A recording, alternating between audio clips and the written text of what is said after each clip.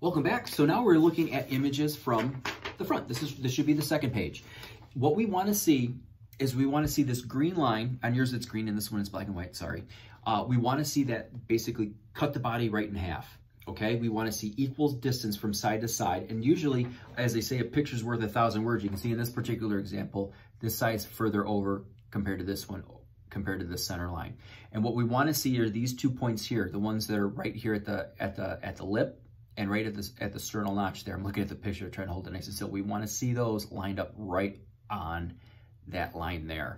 If they're not lined up in the office, typically that puts a patient in the injury phase of care and we work pretty aggressively to try and, and, and reduce that down.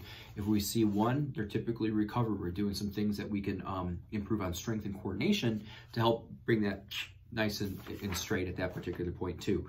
Um, but this, as I say, a picture is worth a thousand words. If you see things that are all kind of all over the place, um, and you need a little bit more guidance, feel free, you know, either either talk with your doctor or you can contact us, whatever you feel more comfortable with, and we can kind of I'll go from there for, for a little bit.